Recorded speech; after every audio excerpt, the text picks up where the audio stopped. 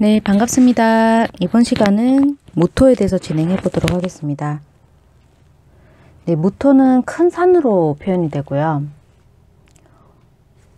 무자, 무인, 무진, 무오, 무신, 무술일주로 구성이 되어 있습니다. 그리고 경자년은 모르시는 분들을 위해서 종을 닮았어요.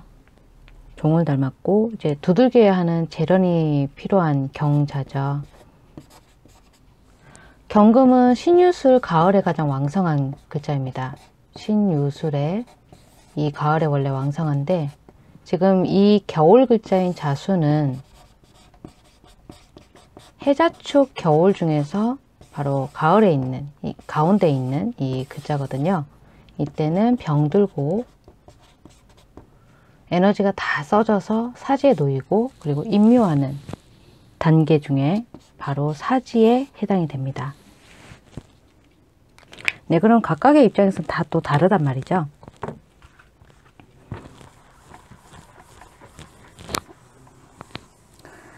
이제 인트로 이 영상을 먼저 좀 보시고 넘어가셔야 되는 필요, 가 있는데 무토는 제가 그큰 산이라고 그랬잖아요. 봄, 여름, 가을, 겨울 이 계절에 따라서 또 다르세요. 여러 가지 또 입장이 있으신데 봄에 태어난 모토는 계절적으로 인월 또 여월 또 이 진월에 목 기운을 가지고 태어나는 무토일간 이분들은 목이 강하기 때문에 금이 있어야 돼요. 왜 그러냐면 목화토금수를 한번 돌려보면 빠릅니다.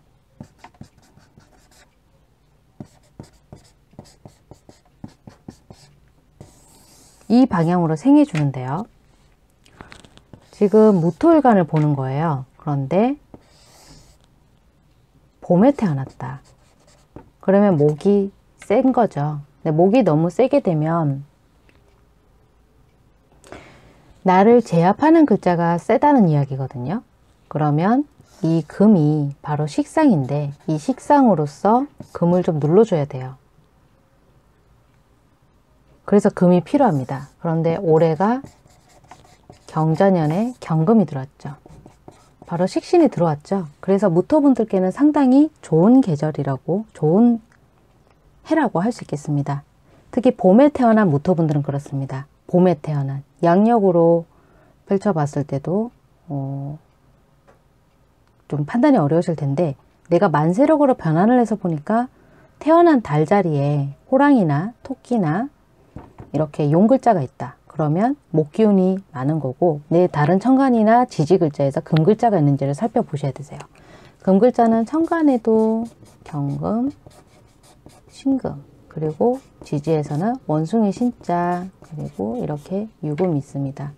예, 글자만 봤을 땐 이런 거고요. 또 이제 합이 돼서 금이 만들어지는 것은 음, 뭐 유축만 있어도 금운동이 좀 벌어지죠. 혹은 이제 사유축 중에서 요 글자만 있다거나 요 글자만 있다거나 아니면 이 글자가 다 있다거나 이걸 이제 삼합이라고 하거든요. 이런 금이 있는지 보셔야 되세요. 내가 너무 나무 글자가 많은데 목 글자가 많은데 금이 있느냐 천간에 이렇게 있거나 지지에 이렇게 있거나 아니면 이런 합이 있다거나 삼합 말고도 이제 방합도 있어요. 네, 너무 깊게 들어가면 여러분들 머리 아프실 테니까 일단 이 정도만 알아놓으시는 게 좋으실 것 같습니다. 일단 봄에 태어난 분들이 이렇다. 그리고 여름에 태어나신 분들은 여름이 4, 5, 미예요. 이게 여름이고 여름은 불기운입니다. 저희가 지금 보는 것은 무토이고요. 이제 목화토금수를 또 돌려보면은 자, 불은 어디 있습니까? 여기에 있죠. 그러면 이 무토 입장에서 보면은 자신을 생해줘서 고맙기는 한데 갈증이 일어나겠죠. 바로 수, 이 재성에 대한 갈증이 일어날 수 있겠습니다. 남자분들께는 이것이 이 수 기운이 금전도 되고 또 여자운도 됩니다. 연애운 보시는 분들 이 수가 왔느냐 특히 여름에 태어나신 분들 4월, 5월, 미월에 태어나신 분들 숫자 4, 5가 아니에요. 뱀사자, 말오자예요. 12지지 동물로 따졌을 때 근데 올해가 어떻습니까? 경자년이죠. 자는 자수거든요. 물이 들어오죠. 어, 엄청 반갑겠죠. 이게 또 모토분들께 특히 여름생들에게 좋은 한 해다. 이렇게 또 계산이 나오겠죠. 그리고 가을에 이제 또 신유술이에요. 이게 이제 가을이 되죠. 이게 가을이고 가을은 금기운으로 봅니다. 지금 무토죠. 제가 보는 것이. 자, 목화토금수도 이렇게 돌려볼 수 있습니다. 지금 언제 태어났다고요? 가을에 태어났다고요. 그러면 경자년이 왔죠. 올해가. 나는 이미 이 가을 태어났기 때문에 식상의 기운을 가지고 있단 말이죠. 여기가 식상의 자리예요. 내 토기운을 뽑아서 쓰는 달에 태어났기 때문에 기본적으로 이 무토 뿌리가 약하단 말이죠. 그러면 가을에서는 토기운을 뽑았으니까 토가 내 지지에 혹은 내 천간에 있는지 다른 자리에 뭐 기토, 무토, 어, 아니 진술충미 이 글자들이 있는지를 보셔야 되겠죠. 근데 없다 그러면 올해 바쁘기만 바쁘고 이 가을에 태어나신 분들은 내가 가질 수 있는 어떤 실적이 떨어지겠죠. 이득이. 실적이나 이득이 낮아진다. 바쁘기만 바쁘고 남 좋은 일만 할 수 있어요. 자 그러면 겨울에 태어나신 분들은 어떨까요?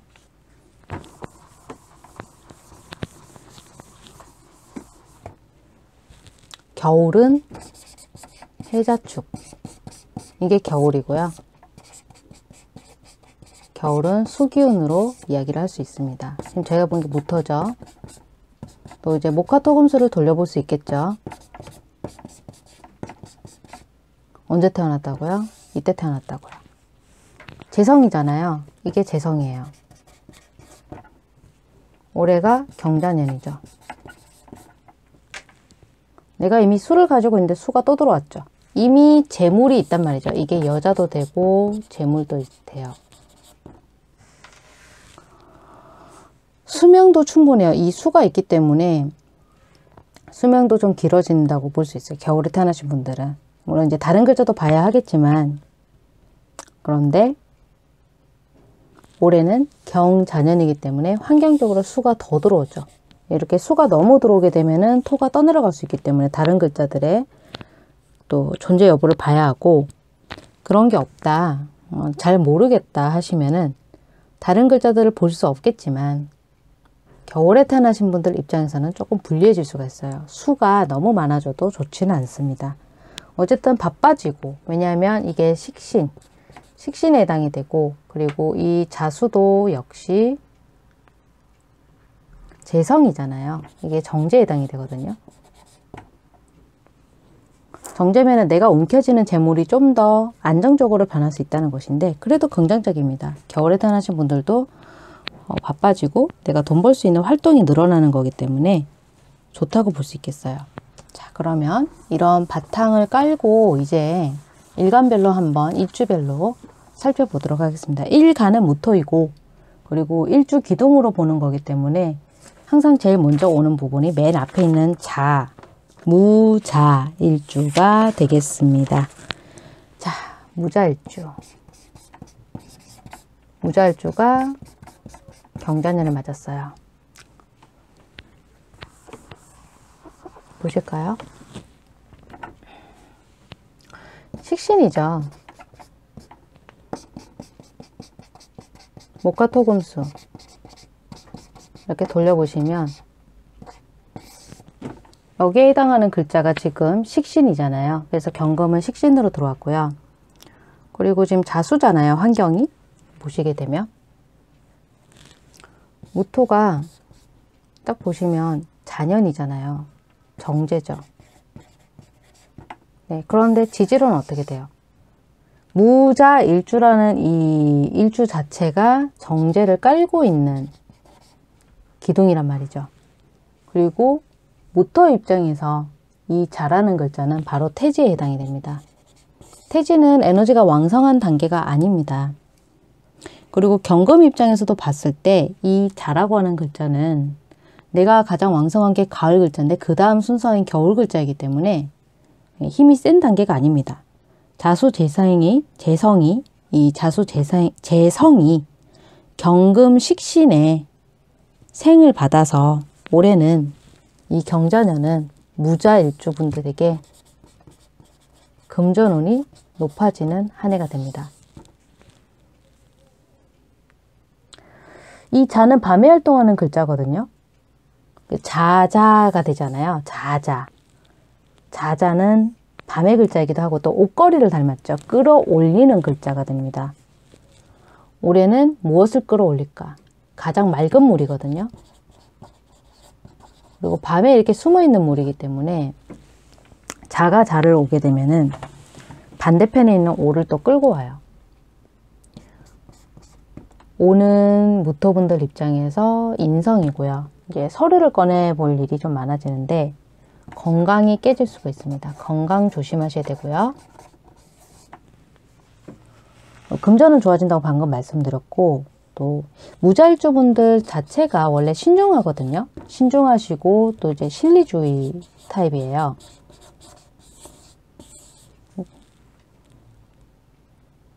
정제를 깔고 있기 때문에 본인한테 조금이라도 손해가 되는 일은 건드리지 않아요. 그리고 이제 말수도 많지 않기 때문에 입이 좀 무거운 타입입니다. 어쨌든 오늘은 올해가 이 정제의 환경이 되기 때문에 정제는 내가 거머쥐는 안정적인 금전이 되거든요. 금전운 자체가 안정적이에요. 뭐 재물을 확 불린다거나 투기를 하라는 얘기가 아니라 내가 적금 타듯이 적금 모으듯이 올해 들어오는 돈들은 다 알토란 같이 내가 챙길 수 있더라. 이렇게 보실 수가 있고 그리고 여자 문제 남자분들은 특히 이 적극적으로 연애 못 하셨던 분들 올해는 조금 용기를 내셔도 되세요. 그런데 이 자자니까 밤에 일어나는 일이잖아요. 그래서 좀 조심하셔야 되세요. 내 촉을 무시하고 함부로 연애운에 대해서 욕심을 내셨다가는 이 여자로 인해서 손해를 또 보실 수가 있는 그런 한 해가 되겠습니다. 손해라는 것은 딴 게 없습니다. 구설수. 이게 쥐잖아요. 쥐는 번식을 잘해요. 밤에 움직이실 때 탁탁 선을 지키시고 그리고 나만 알고 있는 일들 또 상대방과 나와 비밀이 지켜질 수밖에 없는 일들 비밀스러운 일들 이런 것은 제3자에게 오픈을 안 하시는 것이 좋겠습니다. 이렇게 어, 하나 또 말씀 못 드린 게 있네요. 음, 올해는 승진운은 좀 어두워요. 전반적으로 제가 지금 모터분들 살펴봤을 때는 승진운이 그렇게 좋은 일주는 없더라고요. 올해. 승진운도 마찬가지로 무자 일주 분들이 좀 어둡습니다. 자 이제 다음 일주 넘어갈까요? 자를 했으니까 네, 무인. 무인일주 한번 볼게요. 무인일주 같은 경우는 이게 장생지예요.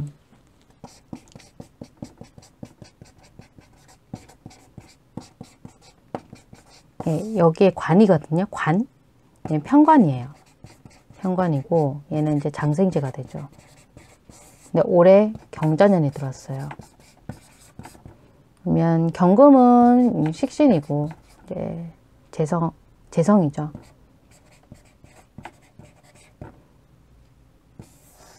이렇게 환경이 보이는데 자아가 굉장히 강한 일주예요. 무인일주 같은 경우는 이미 자기 자리에 평관을 깔고 태어난 분이란 말이죠. 올해는 그다지 움직이고 싶지 않은 분들이라도 이 재성 환경에 놓였기 때문에 활동성이 굉장히 커집니다. 활동성. 활동성이 커지고 그리고 올해는 실속도 커져요. 장생지를 깔고 계신 분들이 재성까지 만나버리니까 정이 이 재와 관을 둘 다 취하는 꼴이 되죠. 음, 나한테 부족한 기운이 금기운이란 말이죠. 이 무인분들께, 무인일주분들께. 나한테 필요한 식신 금기운이 경자년의 경으로 들어왔고요. 그리고 나한테 재성도 들어오기 때문에 나한테 부족한 게 둘 다 들어오는 거거든요. 이 무인일주 분들은 수분, 즉 수기도 필요해요. 그런데 둘 다 들어온단 말이에요. 금과 수가, 즉 식상과 재성이 둘 다 들어오기 때문에 올해는 승진도 괜찮고 그리고 또 어떤 실적 이동도 상당히 괜찮아요. 다만 이제 음 아쉬운 게 있다 한다면 이게 재성은 재성인데 식신이 이 인을 봤을 때 힘을 받는 부분이 아니기 때문에 경자 자체에서도 사지에 놓이고 이 경자라고 하는 이 자, 경금 입장에서 봤을 때 자도 사지거든요. 인이나 자, 저, 이 인이나 아니면 이 자수도 모터 입장에서 봤을 때는 이게 태지잖아요. 얘가 봤을 때 태지고 얘는 장생지가 되지만 둘 다 뭔가 뭐 록지라던가 제왕처럼 막 나가는 힘의 글자는 아니란 말이죠. 이 환경 자체가. 그래서 무인은 겉으로 보이는 것은 이렇게 뭐 승진이나 실적이나 다 올라가는 듯 하다가 이게 환경, 우리가 생각하는 환경에서 그게 탄탄하지 못하더라. 그래서 올해는 어, 예를 들어서 승진이나 실적까지 거의 오픈해서 올라가더라도 거의 마지막 마지막 단계에서 경쟁에서 밀릴 수 있다.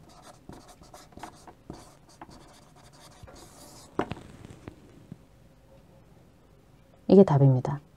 자아만 강하면 뭐 다 성공하는 건 아니기 때문에 경금이 또 아까 제가 그이 인목을 봤을 때는 금이 여기서 끝나거든요. 절지 환경이 되기 때문에 어, 식신이 내가 필요해서 들어오긴 했어도 뒷심이 없어요. 그래서 올해는 경쟁에서 밀릴 수 있고 수험생에게는 뭐 예선까지는 괜찮은데 본선에서는 살짝 어두워요. 음. 이거는 어, 결혼이나 연애운도 마찬가지입니다. 이렇게 살펴볼 수 있겠습니다.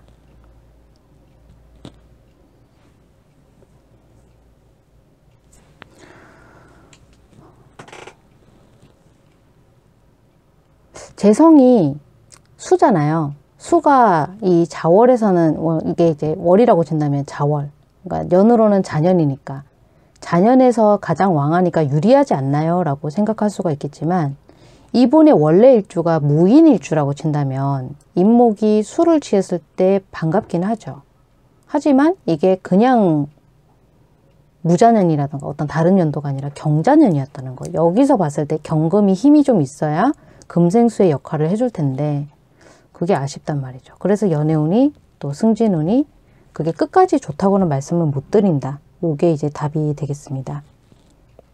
원래 화기가 그 이제 화토가 같이 움직이는데 화기운은 토는 이제 화의 기운을 빌려서 쓰거든요. 화기가 죽으면 토가 움직이지 못하고 갇히는 게 있어요. 토한테는 방금 말씀드린 이 수기가 재물이고 하지만 이제 너무 수기가 너무 커져도 토가 허해지기 때문에 금이나 화나 둘 다 있어야 그릇이 커지는 또 부분이 있습니다. 자, 이렇게 설명을 드렸고요. 이제 무인일주 다음 거 한번 넘어가 볼게요. 어, 무인일주 다음이 그렇죠. 진이죠. 무진일주가 되겠죠. 무진일주고 이제 경자년 맞았을 때 진은 역시 토잖아요. 그래서 얘는 비견이 되고 또 관대지가 돼요. 근데 올해 이제 이렇게 식신이 들어오고 아, 이거 잘 모르시는 분들 위해서 제가 이거 옆에다 그려드릴게요. 네, 무토 입장에서 봤을 때는 금이 식상이잖아요. 그래서 식신이 들어오는 거고 이제 자년이죠. 무토 입장에서 봤을 때 자년은 정제죠. 정제고 무토 입장에서 봤을 때 해자축이니까 얘는 이제 태지가 되죠. 무토가 봤을 때 태지라는 거예요. 이 경자기둥에서는 사지지만 근데 지금 보면 비경과 정제가 각각 이렇게 수의 운동을 일으켜요. 수는 재성 운동을 일으키는 거잖아요. 재성 위치가 지금 수죠. 재성은 여자운도 되고 금전도 되죠. 그럼 어떨까요? 원래 무진 일주 자체가 자기만의 기준이 확실하고 또좀 새고집이 있거든요. 이 뿌리가 이 진토 속에를 또 이제 포장지를 벗겨보게 되면은 진토 속엔 글자가 을목도 있고 이제 개수도 있고 이제 마지막 글자가 뭐가 되냐면 무토가 있어요. 자기 글자가 자기 글자 속에 있는 거죠. 그래서 고집도 있고 안정적이란 말이에요. 개수가 묻혀 있죠. 이 진토 속에. 그러니까 자기 재물을 묻어놓고 있는 거예요. 이 자기 밑에 개수가 이미 묻혀 있어요. 재물을 가지고 있는 일주란 말이죠. 근데 올해 재성운동이 들어왔단 말이죠. 올해 일복이 상당히 많겠죠. 일복. 상당히 바빠지겠죠. 그리고 여성분들은 결혼은 무조건 관이 있어야 결혼하는 게 아니에요. 이 재성 운동이 좀 있으면 이렇게 목을 생해주기 때문에 결혼 운도 있어요. 또 직장 승진운은 안타깝지만 좀 뒷심이 부족해요. 자진으로 인해서 수운동은 일어납니다만 예. 목 글자가 있냐 없냐 그걸 봐서 또 판단을 해야 되기 때문에 그리고 중요한 거는 경자년이잖아요. 무토가 봤을 때 얘가 태지란 말이에요. 그래서 승진은 좀 떨어져요. 어쨌든 오늘 올해가 엄청 좀 다사다난하실 거예요. 무토 전반적으로 봤을 때. 무진일주도 거기서 벗어나기는 어렵다는 거. 자 이제 무진은 여기까지 하고요. 이제 무호로 한번 넘어가 볼게요. 봄, 여름, 가을, 겨울은 앞에 설명을 드렸으니까 대입을 해보시면 됩니다. 자, 무호일주고 경자년이 왔습니다. 네, 또 이해를 돕기 위해서 목과 토금수 이렇게 그려놨고요. 무호 일주면은 인성을 지금 깔고 있는 거죠. 정인을 밑에 두고 있는 거죠. 그리고 이건 제왕지가 돼요. 토는 화의 기운을 빌려서 산다고 그랬어요. 그래서 사오미에서 이렇게 제왕지가 되는 거고 경금은 식신이 들어온 거죠. 그리고 자수는 재성이 들어온 거고요.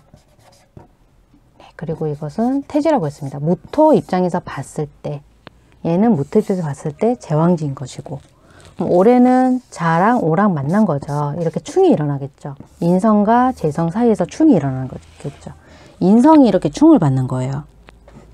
인성이 충을 받는다 그러면 안 좋은 게 아니고요. 올해는 노력을 엄청 많이 하게 되는 이 무일주가 원래 기본적으로 양인이기 때문에 노력을 엄청 많이 하실 거예요.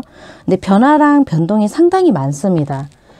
전체 이 무토 일주들 중에서 상당히 변화가 많을 것이 이게 충이 와서 그런 것도 있는데 변화와 변동이 상당히 많을 것이라고 하는 계산이 나오고요. 그리고 이 자수의 기운이 크게 도움이 될 거예요. 왜냐하면 오화가 포장지를 벗겨보면 무슨 글자들이 들어있냐 그러면 병화도 있고요. 그리고 이제 기토도 있고요. 그리고 정화도 있어요. 병화, 정화. 하루 차이로 정화가 좀 더 많아요. 열기가 어마어마하다는 거죠. 부글부글 끓는 여름의 염천의 글자란 말입니다. 이 글자가. 근데 수가 와줬단 말이에요. 충하는 게 어, 내가 마, 망하는 게 아니고요. 어우러진다는 뜻이에요. 충이라는 것은. 충은 어우러지는 거.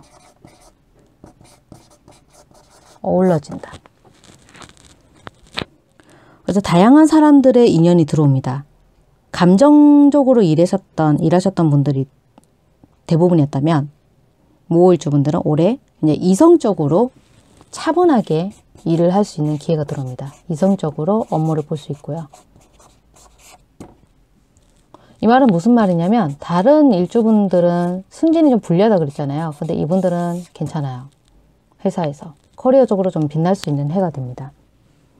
그리고 어, 내가 문서라든가 어떤 계약 그리고 어떤 구매권 또 사람들 간의 어떤 약속 여기에는 사업적인 부분들도 많이 들어가 있어요. 이러한 일들에 한해서 나한테 없던 인연이 들어온다. 이렇게도 해석이 가능합니다.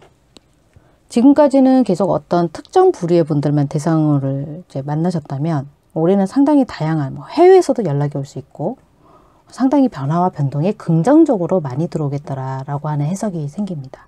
자 여기까지 무호를 살펴봤고요. 이제 다음 무신으로 넘어가도록 하겠습니다.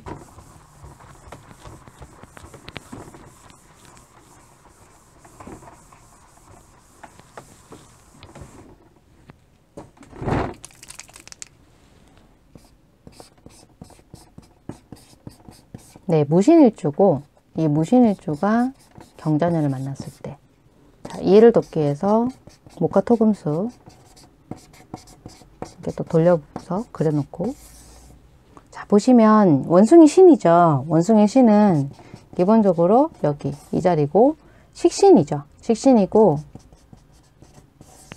병지예요. 기본적으로 이 병지를 깔고 계신 분들이에요. 상당히 영리합니다. 영리하고 영민하고 예민하고 촉이 있습니다. 공부 잘한다는 거랑은 좀 달라요. 상대방을 압도하는 매력이 있어요. 원래 이 일주들이 카리스마라 하죠. 네, 상대방을 압도하는 매력이 있습니다. 원숭이를 깔고 있기 때문에. 근데 올해 어떤 글자가 들어왔습니까? 어, 얘가 참 반갑겠죠. 얘가 식신이죠. 같은 식신이잖아요. 금이 들어왔죠. 그리고 어, 얘는 아시겠지만 정제 그리고 무토가 봤을 때는 이제 태지가에 해당이 되고 식신이 굉장히 강하게 들어왔는데 이분들 자체가 간섭을 유달리 싫어하는 일주예요. 근데 올해 재물론이 그냥 좋은 게 아니라 아주 좋아요. 여자랑 재물론이 아주 좋아요. 재물론은 여성분들도 포함이 되십니다. 그리고 그냥 좋은 게 아니라요. 본인의 외적인 살림이 불어납니다. 살림살이들이. 그런데 안 좋은 것도 하나 있어요. 이게 지금 보시면 이것도 이제 만났을 때 수의 운동성, 재성의 운동성이 일어나기 때문에 구설수, 특히 직장에서, 사업장에서 이 구설수도 많아집니다. 조심해야 되겠죠. 자수가 좀 그래요. 이 성격 자체가 이 무토분들 입장에서는 돈도 들어오고 참 좋긴 한데 내가 필요 없는 움직임들도 많이 늘어나거든요. 그리고 많이 드러나요. 이게 맑은 물이라서. 탁한 물이 아니라 맑은 물이기 때문에 자시, 자시에 시작할 때 이 자 글자거든요. 처음 시작하는 거죠. 그래서 다른 사람들한테 오픈이 돼요. 처음 시작하는 것은. 그래서 구설수도 상당히 많이 들어온다. 또 일제주라든가 활동성으로 일복이 많아지기 때문에 나의 장단점들이 다 드러나는 해가 됩니다. 그래서 무신일주 분들은 기본적으로 똘똘하시고 굉장히 화술도 있고 어, 다 부족함이 없어요. 부족함은 없습니다만 올해 이제 다른 사람하고 부딪히는 일들도 생길 수가 있고 재물운도 그만큼 높아지기 때문에 시기나 질투도 많이 들어올 수가 있겠습니다. 그래서 주변 사람 관리를 상당히 잘 하셔야 되세요. 인간관계. 여기에 대한 고뇌가 좀 보이겠습니다. 고뇌. 자, 여기까지 봤고요. 이제 마지막 남은 거 무술일주. 넘어가 보겠습니다.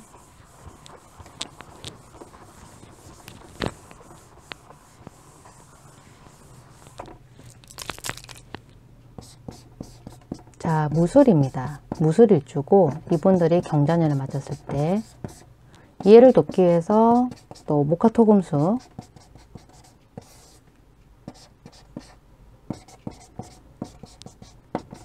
네, 이렇게 또 돌려볼게요.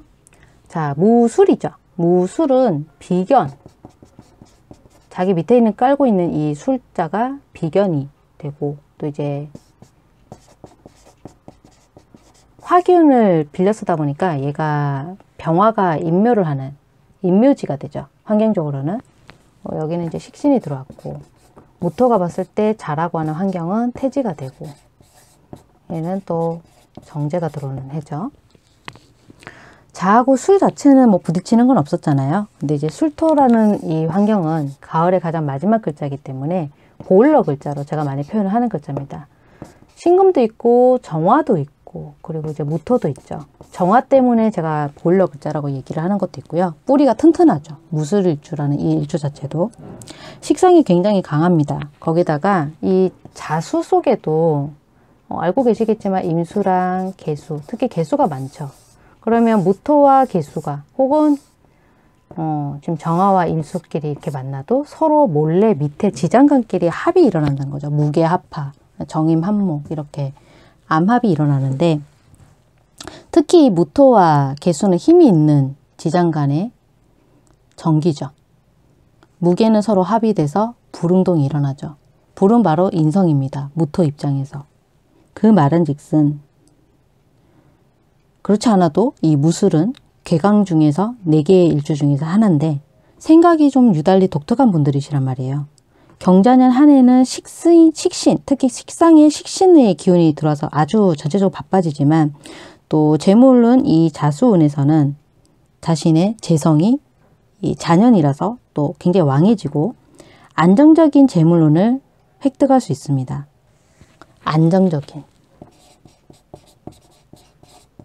왜냐하면 제가 아까 말씀드렸듯이 무게가 서로 합의돼서 인성운동을 또 일으키기 때문에 안정적인 재물운. 이게 문서를 동반한 재물운이거든요. 문서 포함해서. 그리고 무토에게 힘을 실어줘요. 이 화가. 근데 환경적으로는 수잖아요. 자수거든요. 재성이란 말이죠. 그래서 바쁘기만 한 게 아니라 바쁜 만큼 실적이나 소득이나 또 명예에서 상당히 괄목할 만한 일이 생긴다는 거죠. 근데 이분들도 이게 술토가 원래 자기 속에 있는 말을 숨길 줄 모르는 분들이다 보니까 구설수가 동반이 돼요. 기본적으로는. 이거는 꼭 경자년에서 그런 것뿐만은 아니고요. 특히 남자분들은 여자 관계들, 자년이기 때문에 조심하셔야 돼요. 선을 잘 그으시고 또 불필요한 부탁이나 청탁 거절하시는 게 좋고요. 어쨌든 재물운의 올해는 또 왕해지고 나한테는 문서원을 포함해서 들어오는 부분이기 때문에 부동산 운도 괜찮습니다. 자, 이렇게 무토분들의 전반적으로 여섯 가지 일주별로 경자년이 왔을 때의 변화들을 간단하게 살펴보게 되었습니다. 네, 상담 신청은 제가 댓글로도 한 번 더 달아드리고요. 기본 내용 밑에 내리는 화살표 눌러보셔도 상담 신청 필독이라고 있습니다. 그거 꼭 읽어보시고 문자 주시면 제가 상담 네, 고맙습니다.